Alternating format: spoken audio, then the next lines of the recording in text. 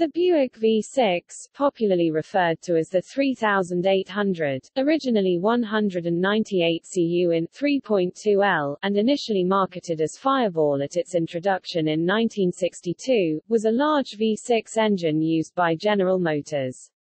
The block is made of cast iron and all use two-valve per cylinder iron heads, actuated by pushrods. The engine, originally designed and manufactured in the United States, was also produced in later versions in Australia. The 3800 was on the Ward's 10 Best Engines of the 20th Century list, made Ward's yearly 10 Best list multiple times, and is one of the most produced engines in history. To date, over 25 million have been produced. In 1967, GM sold the design to Kaiser Jeep. The muscle car era had taken hold, and GM no longer felt the need to produce a V6, considered in North America an unusual engine configuration at the time. The energy crisis a decade later prompted the company to buy the design back from American Motors AMC, who had by that point bought Kaiser Jeep, and the descendants of the early 231 continue to be the most common GM V6 as it developed into a very durable and reliable design.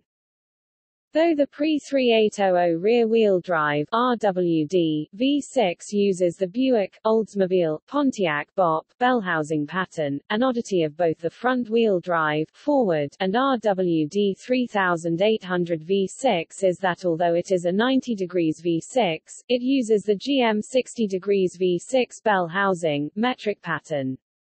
For use in the forward applications, the bell housings on the forward transmissions are altered slightly. This engine has the cylinders numbered 1, 3, 5 on the left-hand bank, front bank for forward applications, and 2, 4, 6 on the right-hand bank, the number 1 cylinder being the furthest from the flywheel end. The firing order is 1, 6, 5, 4, 3, 2. The engine was produced at the Flint North plant in Flint, Michigan, with engine blocks and cylinder heads cast at the Gray Iron plant, now the GM Saginaw Metal Casting Operations plant, in Saginaw, Michigan. It is a derivative of Buick's 215 cu in 3. 5L aluminium V8 family, which also went on to become the Rover V8, another engine with a very long life 1960 to 2006. Topic: Fireball V6. The first engine in this family was introduced in 1961 for the 1962 model year Buick Special with Buick's 198 cu in 3.2L engine, the first V6 in an American car.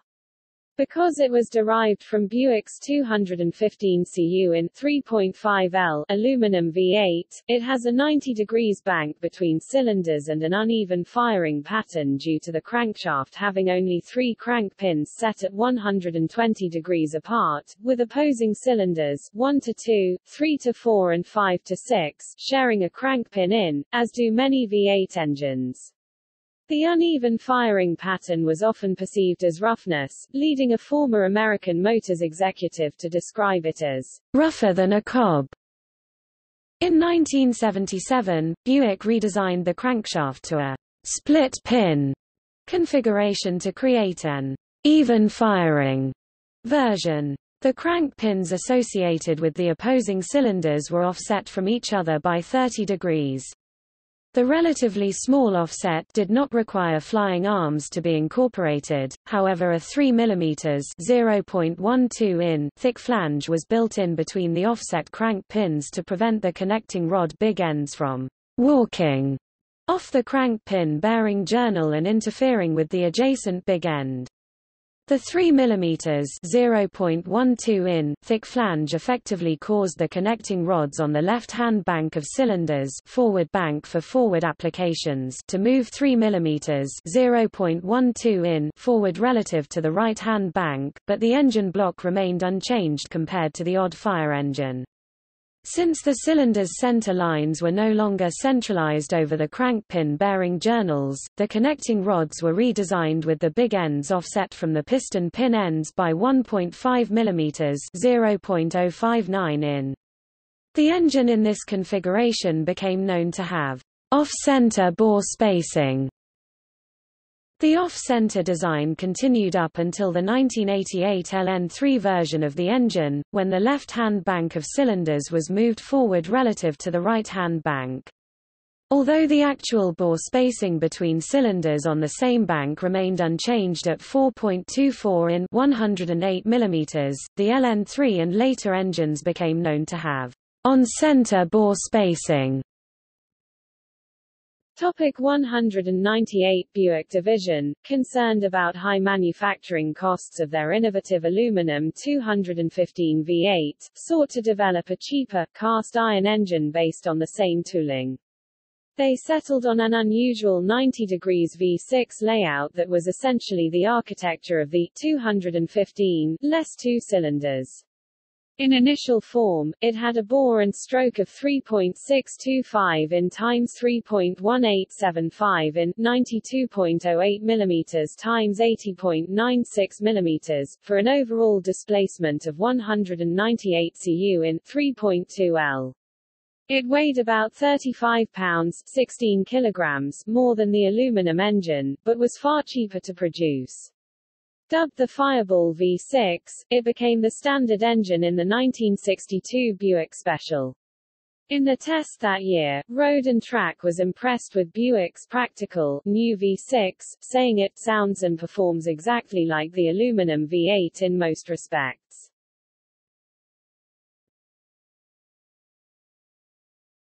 Topic 225 The bore was increased to 3.75 in 95.25 mm, and stroke increased to 3.4 in 86.4 mm, increasing displacement to 225 cu in 3.7 L. Since the engine was similar to the popular small block Buick V8, now with a cast iron block and displacement of 300 cu in 4.9 L, the engine was made cheaply at the same factory with much of the same tooling. This engine was used in Buick's intermediate-sized Special and Skylark models from 1964 to 1967 and Oldsmobile's mid-sized F-85 Cutlass models for 1964 and 1965. 1964–1965 models featured a single-barrel Rochester monojet, producing 155 horsepower 116 kilowatts. In 1966–1967, the one barrel was replaced with a two-barrel Rochester 2GV, giving the engine a 5-horsepower boost to 160 horsepower 119 kilowatts. The V6 was dropped after the 1967 model year in favor of a conventional 250 cu in 4.1L inline six engine built by the Chevrolet division, and the tooling was sold to Kaiser Jeep.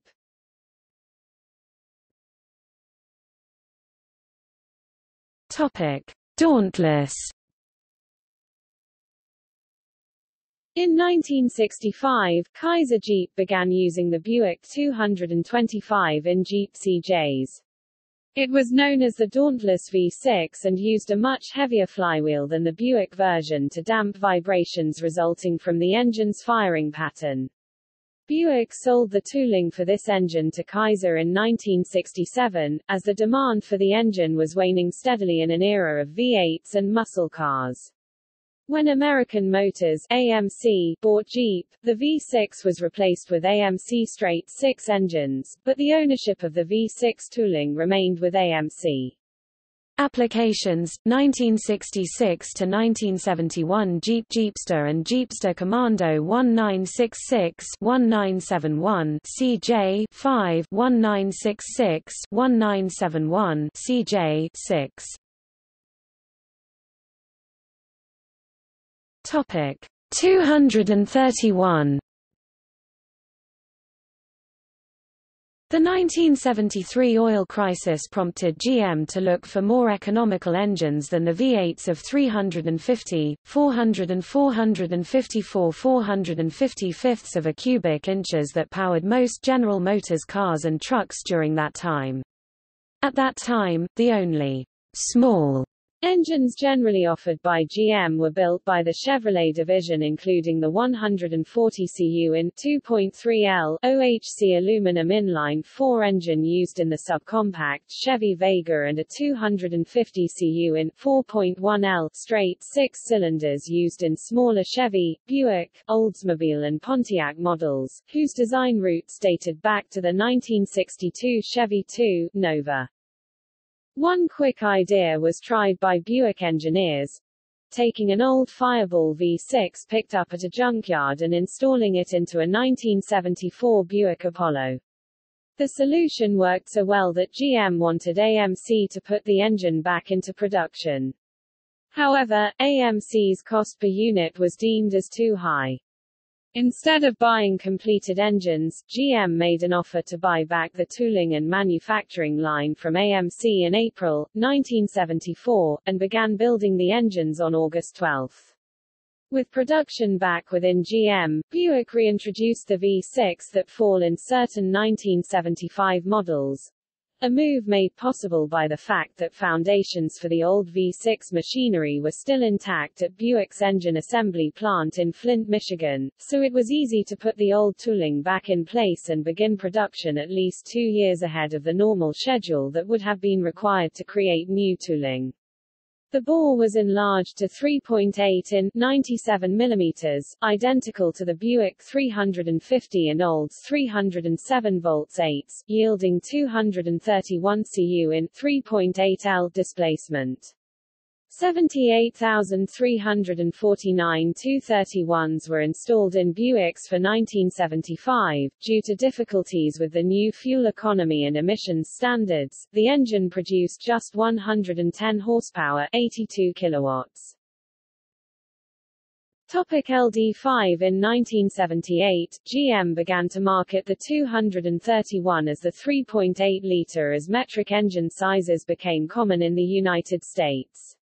The RPO code was LD5, though California emissions versions were called LC6.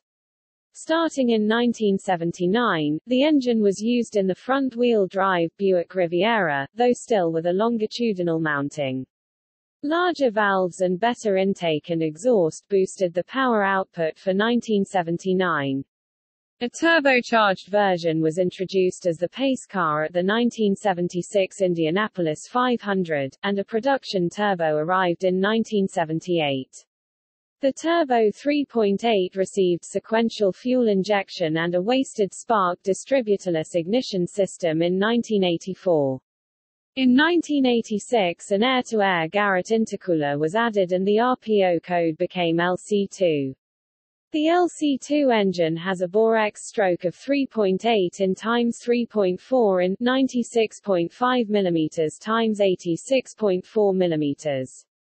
The horsepower ratings for 1986 and 1987 were 235 and 245 horsepower, 238 and 248 PS, 175 and 183 kilowatts, respectively. The limited production GNX benefited from additional factory modifications such as a ceramic turbocharger, more efficient Garrett intercooler, low restriction exhaust system and revised programming which resulted in a 300 horsepower, 304 PS, 224 kilowatts factory rating. The turbo 3.8-liter was used in the following vehicles, 1978 to 1987 Buick Regal Sport Coupe, T-Type, Grand National, Base T, Limited T, Turbo T, and GNX 1978 to 1980 Buick LeSabre Sport Coupe 1979-1980 Buick Century Turbo Coupe and Sedan 1979 to 1985 Buick Riviera S-Type, T-Type and less than one 100 convertibles 1980-1981 Chevrolet Monte Carlo 1989 Pontiac Trans Am Turbo turbocharged 1987 Buick Regal Grand National GNX was called America's quickest automobile, and the model continues to be collected and appreciated today.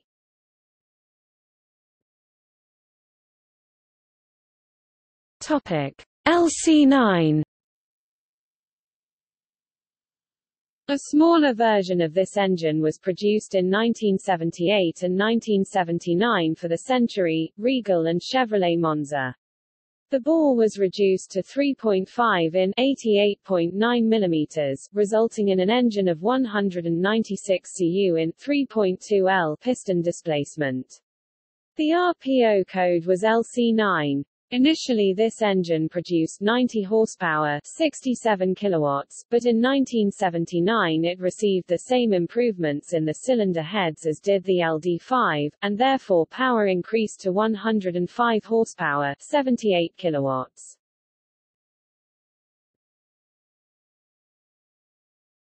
Topic LC4 In response to rising gas prices, a larger 252 cu in 4.1L version of the 3.8-litre LD5 V6 was produced from 1980 through 1984 and marketed as an alternative to a V8.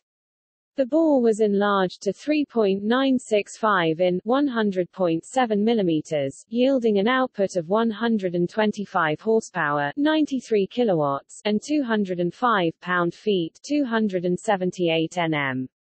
This engine was used in many large rear-wheel drive Buicks, and in some models from each of GM's other divisions, including Cadillac which offered the Big Buick V6 in several models from 1980 to 1982 as a credit option to the troublesome V8 6-4 engine used in 1981 and early versions of the aluminum block Cadillac HT4100 V8 introduced in 1982. It was also the standard powerplant in the front-drive Riviera and Olds Toronado from 1981 to 1984. Additionally, the 4.1 block was used unsuccessfully at Indianapolis for racing. Its only weakness was the intake valve seals. This was the first naturally aspirated GM V6 to feature a four-barrel carburetor.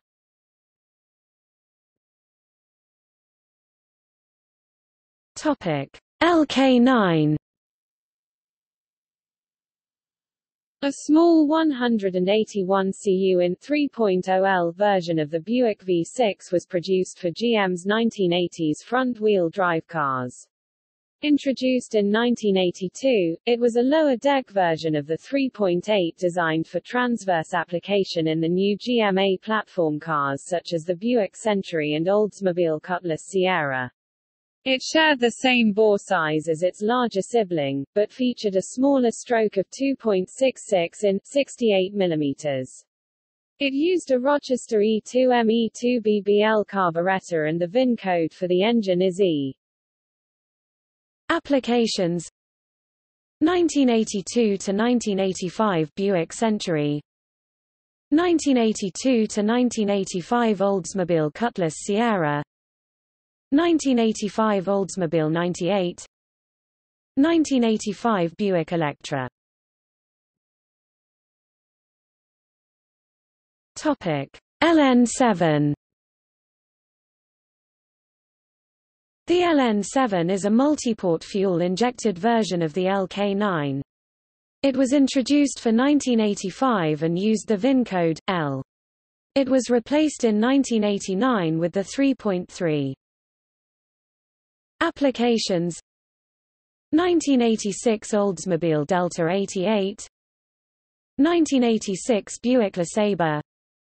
1986 to 1988 Buick Skylark. 1985 to 1987 Buick Somerset. 1985 to 1987 Pontiac Grand Am. 1985 to 1988 Oldsmobile Cutlass Calais Topic 3.8 forward LG2, LG3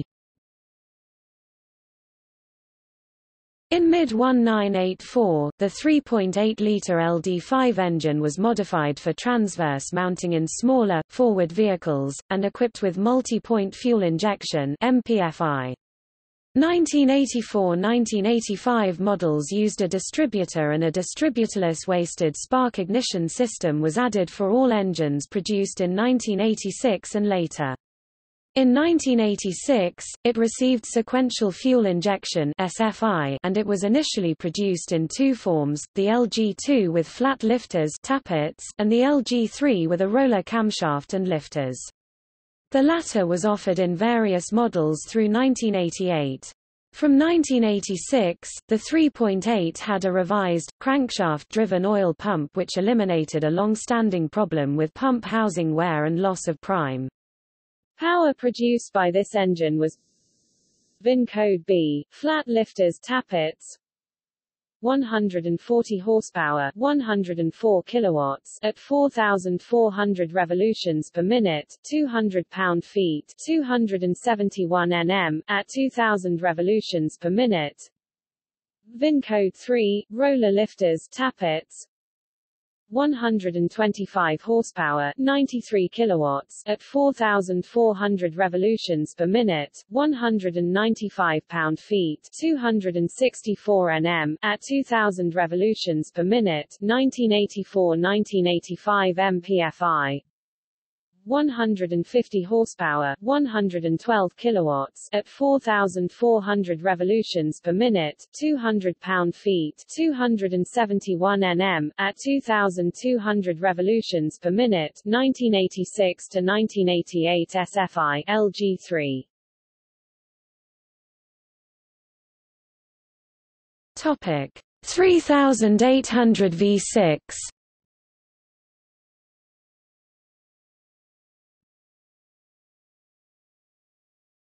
Topic: Pre-Series 1.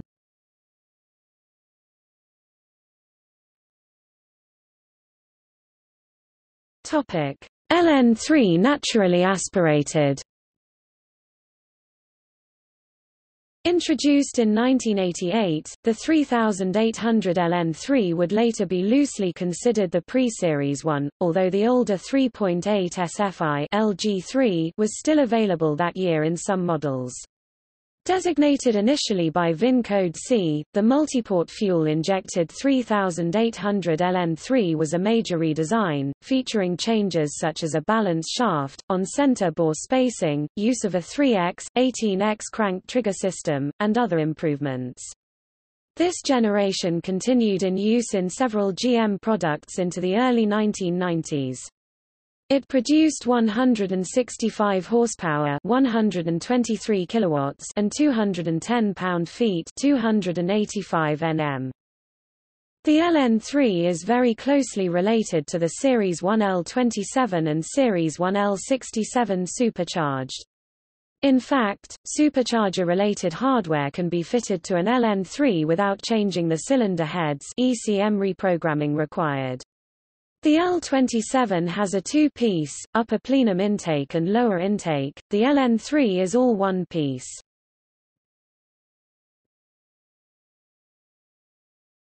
Topic 3300 LG7 A smaller 3.3-litre 3300 was introduced in 1989 and produced through 1993. It is effectively a lower deck version of the 3800, with a smaller bore and stroke of 3.7 in times 3.16 in 94.0 mm times 80.3 mm for 3340 cc 3.3 L 203.8 cu in. Like the 3800, it used a cast iron block and heads, push rods, and hydraulic lifters. Unlike the 3800, however, it used a batch-fire injection system rather than sequential injection, as evidenced by the lack of a cam position sensor. It also did not have a balance shaft. Power output was 160 horsepower, 119 kilowatts at 5200 revolutions per minute and 185 pound-feet, 251 Nm at 2000 revolutions per minute with a 5500 revolutions per minute redline.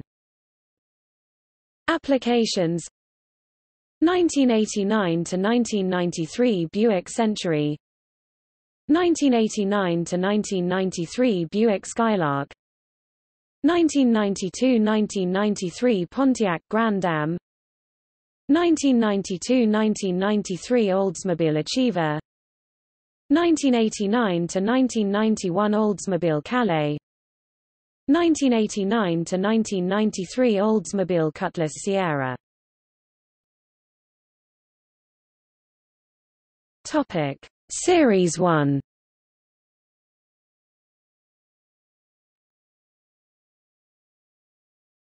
Topic. L27 SI naturally aspirated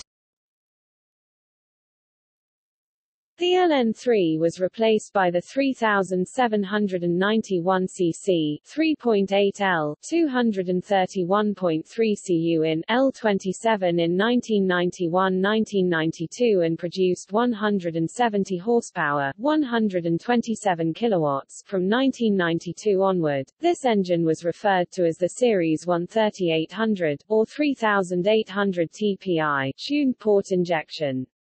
In Australia, the LN3 was also replaced by the L27 by Holden who used the engine in the Series 2, 1991, VN Commodore range. However, the Australian L27 retained the LN3's one-piece upper intake and lower plenum. Power was still boosted to 127 kilowatts, 170 horsepower for the Holden L27, before being boosted to 130 kilowatts, 177 PS, 174 horsepower in the revised VR Commodore in 1993. The L36 made its debut in 1995. Topic L67SI supercharged The Series 1 supercharged engine went through two supercharger revisions, Gen 2 and Gen 3, and the horsepower improved between initial launch and the time that the Series 2 L36 was introduced. The M62 supercharger was manufactured by Eaton, for the GM 3800 SI engine. HP was rated at 205 for 1991-1993 engines Gen 2 supercharger, with a 2.55-inch 65 mm pulley, and 225 for 1994-1995 engines Gen 3 supercharger. All of the additional horsepower for 1994-95 Gen 3 supercharged engines was gained by using epoxy, not Teflon as commonly believed, coated supercharger rotors to improve efficiency, a larger supercharger inlet and throttle body, thus the 1994-1995 utilized a 2.85-inch 72 mm pulley versus the 2.55-inch 65 mm pulley on the Gen 2. The easiest way to spot the difference between the Gen 2 and Gen 3 is the smaller pulley and the ribs on the side of the Gen 2 extend all the way down the sides, while the Gen 3 ribs stay on only the top, they perform slightly differently and interchanging one without tuning may result in strange behavior of the engine. Redline on Gen 3 engines is at 6,000 revolutions per minute but the ECM will shift at 5,400 revolutions per minute without performance shift enabled. Applications 1991 to 1995 Buick Park Avenue Ultra 1992 to 1995 Oldsmobile 88 LS Opt LSS Opt Oldsmobile 98 Regency Elite Opt Touring Sedan Pontiac Bonneville Shay with H4 URPO not badged SLE Opt SC package, SSE opt and SSEI 1995 only, Buick Riviera opt. Topic: Series 2 Introduced in 1995, the Series 2 is quite a different engine. It is also by far the most popular of the 3800 family for its power, smoothness, fuel efficiency, and reliability, although the stroke for the 3.8-liter engine remained at 3.4 in 86 mm, and the bore remained at 3.8 in 97 mm. That said, the engine architecture was vastly changed. The deck height is shorter than the Series 1, reducing weight and total engine package size. This required that the piston connecting rods be shortened 1 in 25.4 mm, and the crankshaft was also redesigned. A new intake manifold improved breathing while a redesigned cylinder head featured larger valves and a higher compression ratio. The result was 205 horsepower, 153 kilowatts, and 230 pound-feet, 312 Nm, better fuel economy, and 26 pounds, 12 kilograms, lighter overall weight to 392 pounds, 178 kilograms.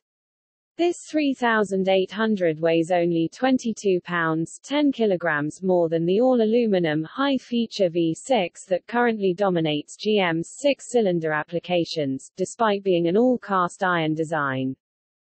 The new intake manifold greatly improved airflow. To meet emissions standards, an EGR tube was placed in the intake manifold to reduce combustion temperatures. The 3800 Series 2 was on the Ward's 10 Best Engines list for 1995 through 1997. GM recalled 1.5 million vehicles with this engine on April 14, 2009 due to risk of fire from engine oil leaking under the valve cover gaskets onto hot exhaust manifolds. The fire could spread to the nearby plastic spark plug wire retainers on the valve cover and then to the rest of the engine compartment. GM fitted the affected vehicles with redesigned spark plug wire retainers. These engines were noted for having problems with the plastic upper intake manifold cracking around the EGR passage. The engine would then hydrolock. The lower intake gaskets and upper intake manifolds were revised, correcting all these issues.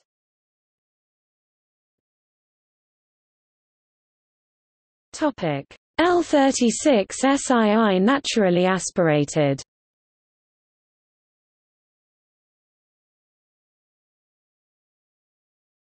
Topic: L67 SII supercharged. The L67 is the supercharged version of the 3800 Series 2 L36 and appeared in 1996, one year after the normally aspirated version. It uses the Eaton Generation 3M90 supercharger with a 3.8 in 97 mm pulley, a larger throttle body, and different fuel injectors, different cylinder heads, as well as different lower intake manifold and pistons than the L36 uses. Both engines share the same engine blocks, but compression is reduced from 9.4, 1 in the L36 to 8.5, 1 for the L67. GM listed the engine output as 240 horsepower, 179 kilowatts, and 280 pound-feet, 380 Nm of torque. Final drive ratios are reduced in most applications, for better fuel economy and for improved use of the engine's torque in the low RPM range. Like most 3800 volt 6s, the engine is well known for its reliability and low maintenance costs. The engine is a popular choice for aftermarket modification thanks to its very strong internals and impressive power gains from basic upgrades. The engine was built in Flint, Michigan and was certified LEV in 2001. 1996 to 2005 Buick Park Avenue Ultra. 1997.5-2004 Buick Regal GS GSE GSX SLP 1996 to 1999 Buick Riviera optional 1996-97 STD 1998–99 2004–2005 Chevrolet Impala SS 2004–2005 Chevrolet Monte Carlo SS Supercharged, Intimidator SS, Dale Jr. SS 1996 to 1999 Oldsmobile 88 LSS Limited 1996 to 2003 Pontiac Bonneville SSEI 1997 to 2003 Pontiac Grand Prix GTP GTX SLP 1996 to 2004 Holden Commodore VS Series 2 VT VX VY 1996 to 2004 Holden Caprice and Statesman VS Series Series 2 and 3, WH, week 2001 to 2004 Holden Monaro V2VZ CV6. Topic Series 3 The Series 3 engines include many changes. The upper and lower intake manifold is now aluminum on the naturally aspirated models. Intake ports are mildly improved, 1.83 in 46 mm intake valves instead of 1.8 in 46 mm as on Series 2, and 1.52 in 39 mm exhaust valves were introduced in 2003 engines, just before switching to Series 3. Electronic throttle control is added to all versions, as is returnless fuel injection. Stronger powdered metal sinter forged connecting rods are used in 2004 plus supercharged, and 2005 plus naturally aspirated engines, instead of the cast iron style from Series 2 engines. Emissions are also reduced. In 2005, it was the first gasoline engine in the industry to attain SULEV Super Ultra Low Emissions Vehicle emissions certification. Also note that Series 3 engines are the base for any 3800 produced for the 2004 year and up. This means the same block, heads, and connecting rods apply to any remaining Series 2 engines made after 2004 also. The difference is that Series 3 engines received the new superchargers Generation 5 Eaton M90 if equipped, intake manifolds, fuel systems, and electronics.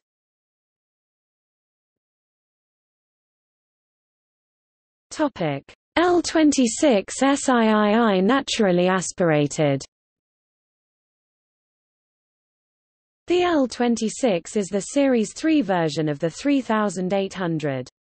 It is still a 3.8 L 231 cu in design. Compression remains at 9.4, 1 as with previous L36s, but the aluminum upper and lower intake 2004 plus and stronger connecting rods 2005 plus are the primary physical changes.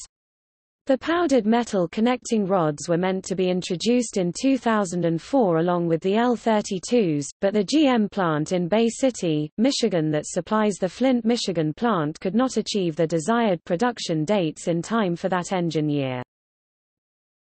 This engine was used in the following vehicles 2004 to 2008 Pontiac Grand Prix 2005 to 2009 Buick LaCrosse Allure. 2006 to 2008 Buick Lucerne. Topic. L32 SIII supercharged. The L32 is a supercharged Series 3. Introduced in 2004, the main differences between the L67 and the L32 are the L32's electronic throttle control, slightly improved cylinder head design, and updated Eaton supercharger, the Generation 5 M90. Power output is up to 260 horsepower, 194 kilowatts in the Grand Prix GTP. As with the L67, premium fuel 91 octane or higher is required, but the PCM can compensate for lower octane fuel at the cost of acceleration. The use of below 87 octane fuel can cause detonation that eventually leads to engine damage and failure. Applications 2004-2005 Pontiac Grand Prix GTP 2006–2007 Pontiac Grand Prix GT Topic: Special editions.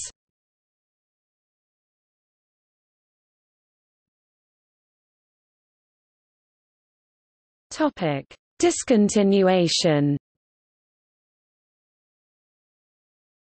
Production of the 3800 V6 engine officially ended on Friday, August 22, 2008 when Plant 36 was closed. There was a closing ceremony and speakers who extolled the virtues of the engine. Originally GM had set this date for January 1, 1999, however, due to the vast number of complaints from both investors and customers because of the popularity and reliability of the engine, the date was extended. At the end of production, the LZ4 3500 OHVV6 replaced the naturally aspirated 3800 applications, and the LY7 3.6 LDOHCV6 replaced the supercharged 3800 applications.